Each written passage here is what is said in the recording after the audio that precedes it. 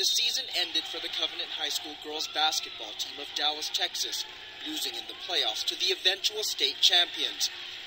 But this is not the game they'll be remembered for this season. What comes to mind when I mention January 13th, 2009? well, um, district game, a game we won, and after the, the game was over, we moved on. 30 year old Micah Grimes was head coach of the Covenant team that day, the day they beat Dallas Academy by a score of 100 to 0.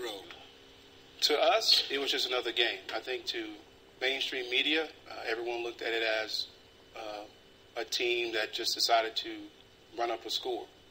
The Covenant School ran up the score 100 to nothing, and it is causing outrage from the winning school itself. So lopsided, so controversial, it's creating an uproar far beyond Texas. A media firestorm followed, and less than two weeks later, Grimes was fired after not apologizing for what the headmaster of his school described as shameful and an embarrassment.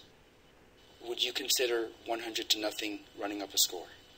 Some people can view it that way uh, if, if they don't understand the other side of the story. So take us from the very beginning. Opening tip. Tell us what happened. Well, we got the tip.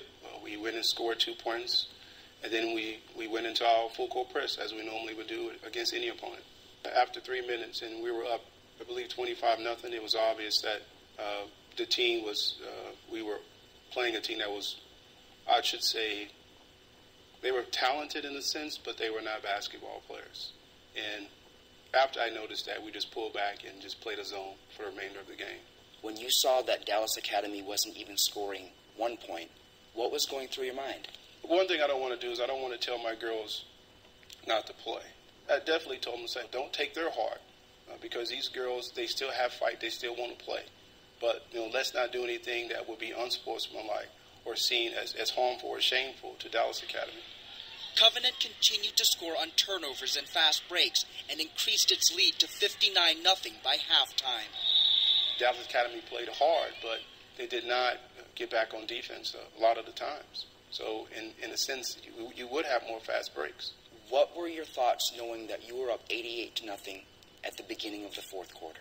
Basically, just kind of finish, just get through this quarter and not let anyone get hurt. Uh, the clock's running. You know, once again, the girls are, are, are, scaled back. We're subbing girls in left and right. We only have eight players, and we're basically just let's get this game over. When you reached 100 points, what were you thinking? Uh, let the game in. you know, it, uh, I'm never concerned about a score. Was 100 points a goal? Never. No. No way. Absolutely not. Despite losing his job, Micah Grimes says he has no regrets and that he and his team did nothing wrong. If we had the intent, which is we're going to go out, we're going to score as many, many points as we want to, we're going to pass the ball around and, and really try to embarrass the girls, that's unsportsmanlike. Do you take responsibility for the 100 to nothing score? I, I take responsibility for uh, being a coach, uh, teaching my girls to do the right thing, and playing the right way. But we did not do anything to those girls that will cause us uh, to apologize for playing basketball.